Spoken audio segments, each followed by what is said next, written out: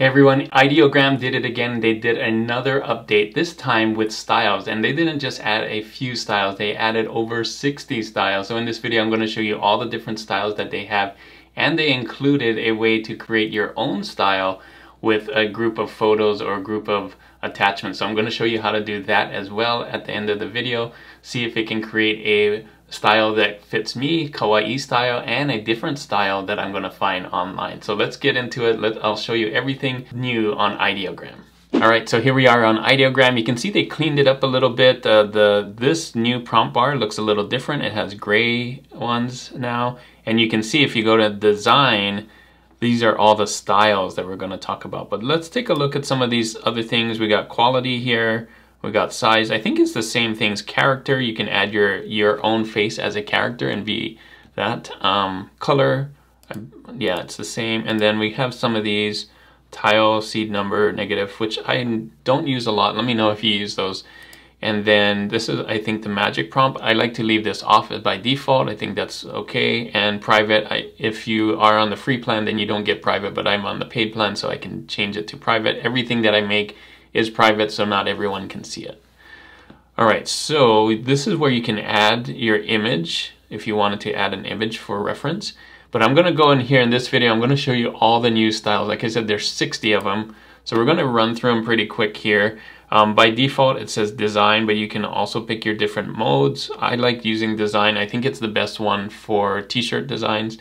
And all these style presets right here are not made for t-shirt design. So I'm going to tell you which ones are my favorite, but I'm going to show you all of them. We're just going to talk really quickly about what all of them are. So Spotlight 80s, you can see has that like glow. And this is more for photos. This one's Bright Art. It kind of has that glow too, but it's more art based. So I think you could use this for t-shirts. This is another photo uh, dramatic cinema. So they got a lot of styles with photos as well as graphics as well as some other things. So you'll see the difference here. Abstract organic, that kind of, kind of fun one. It, it turns out pretty fun. Um, watercolor, I really like this one. This style is really nice. I think it would work really good for t-shirts. Um, CD or C4D cartoon, um, it's like a 3D animation kind of thing, or 3D style thing. So you can see it's popped out. It's, it's kind of fun. I, I did one that with this one that turned out really fun. I don't know if it would be a good t-shirt design, but anyway. Uh, Lollipop Daydream, kind of a cool one. I want to really try this one again and see what, I don't remember this one as much. Halftone Print, that's a cool one that, if you want that vintage style. Children's Book, I think that's a good one. Uh, collage, that's a really nice one where you want to put different colors and stuff. There's another uh, coloring book or I think there's two coloring books. So this one's the first one, coloring book one.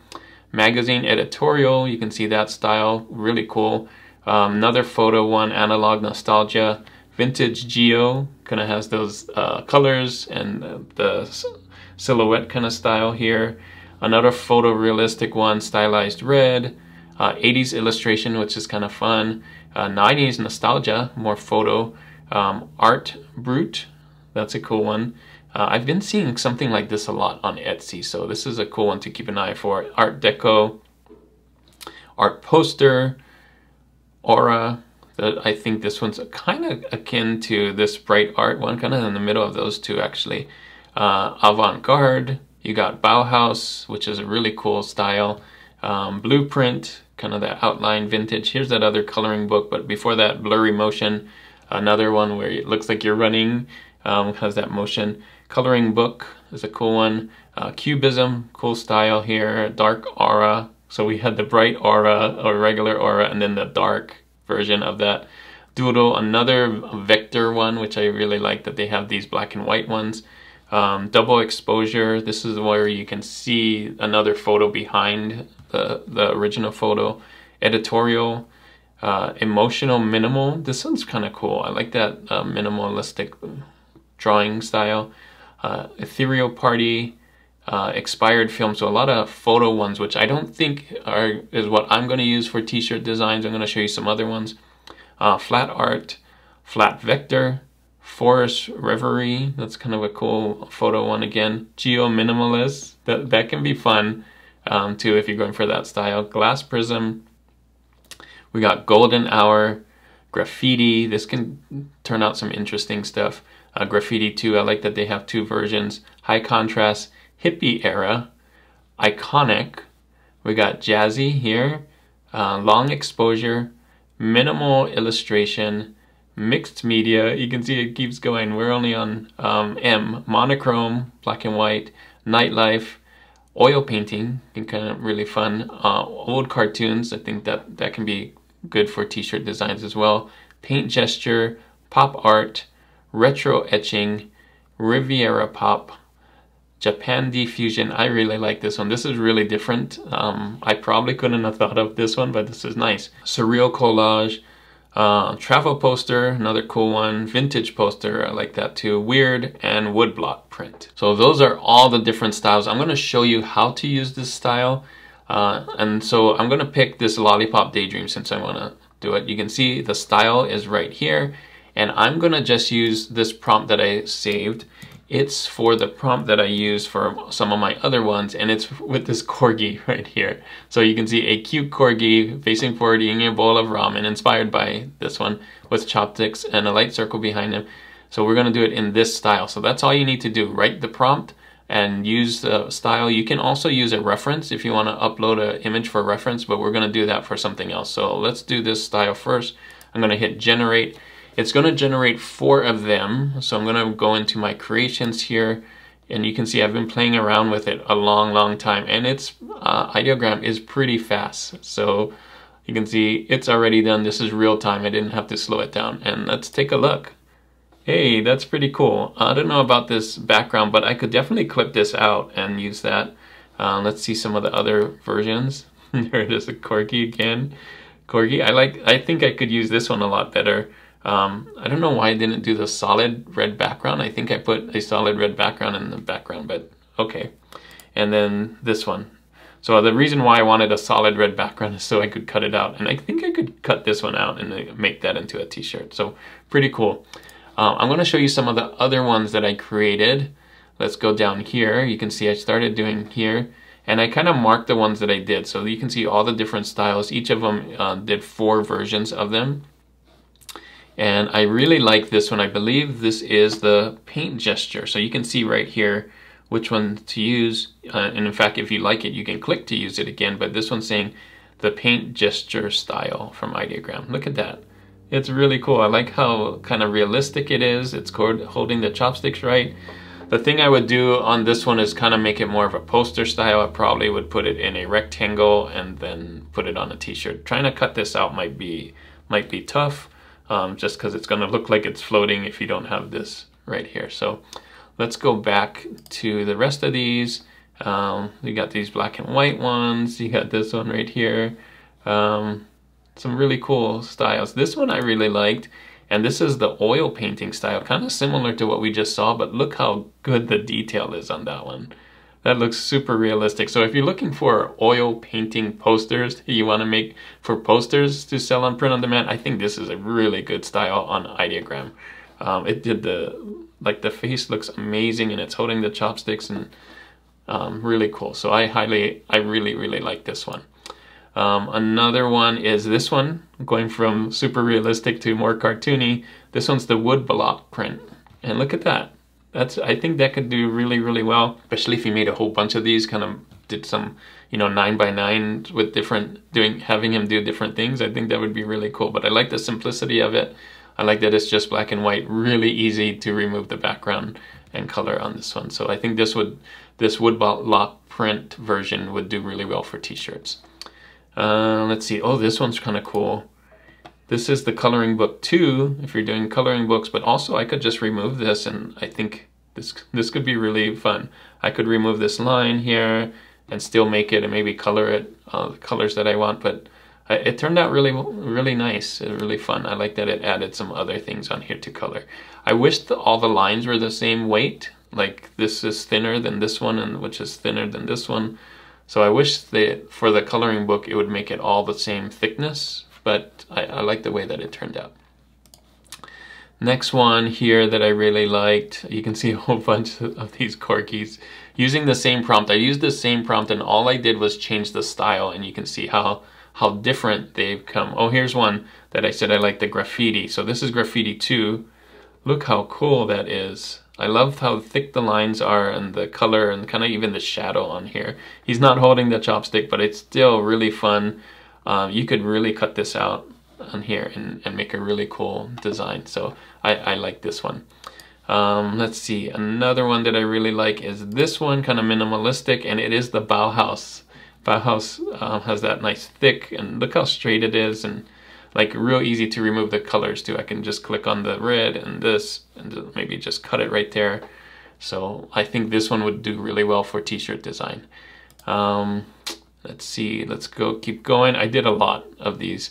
Um, I didn't do all of them. I, I kind of stayed away from the photo one. Oh, here's another one that I really like, the watercolor, like I said. So you can see how well it did with the corgi on the watercolor. Whoops.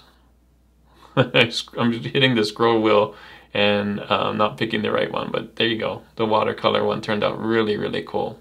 There's some other watercolor ones. And this one is the abstract organic, which I think was kind of interesting. I like I like this one right here where it added some of that. And it would be really easy to remove the background on this too. I like the thick lines and how it had this shadow here. So if I just remove that and just stuck to this, I think that could make a really cool t-shirt. You could add your words or whatever you want. All right, those are all the Corgi ones that I did. I didn't do all 65 or however many there are, but I did create my own version. So you can see right here, I took this, so let me show you how this works. So I'm gonna go back in here and hit uh, style again. And you can create your own style, quick reference. I can come in here and throw in three images and that's what I did from my own shop. I put it in here and then I hit done uh, and then, oh, I guess I, I have to put it in. So in this next case, I'm gonna throw in other ones that I found. So let me do this. I'm dragging in ones that I found from raccoon t-shirts. These are not my styles. This is another style. This is like a vintage raccoon style that I've seen a lot. So I'm gonna hit that. I wanna see if it can create that. And I'm gonna change a different, um, I'm gonna do a different prompt here. I wrote it down already um, here. So this is my prompt. A cool cartoon raccoon standing upright wearing dark sunglasses, raising one paw with the rock and roll hand sign gesture and all of that stuff. Uh, you can see how it did with my one. So this, these three right here were the references for my style, and I asked it to create the corgi, and look what it did. It created the corgi. Didn't look exactly like my corgi, like right up here, but it definitely did it in my style with the kawaii. So I'm gonna try it out and see if it can do a different style, not kawaii, but this vintage style. So let's go for it. I'm gonna hit generate. And some of these other ones were in my kawaii style too. So I just changed some of the things to my kawaii style and see what it did there. This one did really well. Um, and I'll show you how to do that. Wow. So here it is.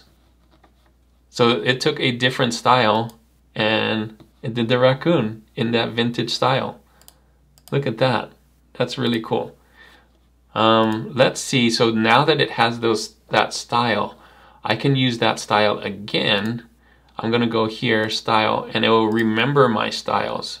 So I, oh, it, let me see if it, oh, I can, I can create a new style here too. So let me create that new style. I'm gonna do vintage um, illustration style. Okay. Um, oh, I'll just do vintage illustration. There we go. And then I'll drag those three vintage illustrations back in here and I'm going to create that style. So now that I, I have that style saved, and I also have the other one that I did saves, so we're going to try and take some of the things from an ideogram in here on the t-shirt side, and we're going to try it in two different styles. So now that I have the kawaii style, and now I have the vintage illustration style, let's see what it does with something that's neither of those two. Um, all right this one. This is neither um, kawaii or vintage illustration. I'm gonna save this. I'm gonna do style, click on here, um, not general style. I'm gonna do my kawaii style first, and that's it. It's just gonna use the same uh, prompt from this. Oh no, I'm gonna, I need to use the prompt. That's the old raccoon prompt. Here's the prompt that it did.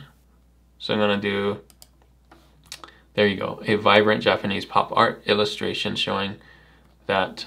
So I'm gonna not put the retro Japanese pop art. Uh, I'm just gonna do a vibrant illustration. Bulldog, jagged teeth. Let's see if it has anything to do with style on here. Uh, oh, I'm not gonna do this. The artwork evokes aesthetic of Japanese streetwear. Okay, I'm gonna take that out because that's about style. And let's see how it goes. So I'm gonna copy this, make sure we have it for the next one. And I'm gonna generate, all right. And it's doing it. Now I'm gonna change the style. Take out my kawaii style, put in my vintage illustration style, keep the same thing. I didn't have to copy and paste and I'm gonna generate. Now, the hope is that it's not gonna look like this because this is the Japanese pop art style. Let's see what it does with my style. There you go. So the Japanese art style, I guess, is more kawaii style anyway. So it, it kind of did it. Um, but you can see the what's totally different is this one, the vintage art style. Look at that. Pretty cool, right? So you can just use this kind of the same uh, ideas that's already out there on Ideogram, t-shirt ideas, but then change the style to something that you like. And you could do this with any of the other ones too. So I could have used this and used the style like the Explore styles and I could see what would this look like and let's do something so different. Um, flat art, I think that would be really different and generate. And you can come and play around with these. There's like 60 something styles, 60 plus, I think 65 styles on here. And you can go and play around with and, and see what it does. I wanted to do this for you so you didn't have to use all your credits to do it. But you can see like it's totally different in each one. So find the one that you really like and then you could kind of stick to that and and create a whole line of different products in the same style, which is which is kind of cool. So have fun with this. I think it's really cool. I'm gonna stick to my kawaii style. I love how some of these turned out on mine. Um, if you wanna try it out, just go to Ideogram and go to styles and follow the things that I did in this video. So there you go, that's the new styles with Ideogram. There's so many of them, try them out. Uh, hopefully this video helps you to see kind of which ones were my favorites and you can try those out first. Um, but if you love photography, there's lots of different ones out there as well. Um, if you want to see Ideogram versus Playground versus Mystic, I have a video that I did a while ago, this one right here, so you can see kind of the differences between all the different AI apps if you wanted to use AI for print on demand. Thanks again for watching, and as always, keep creating and keep learning. I'll see you on the next one.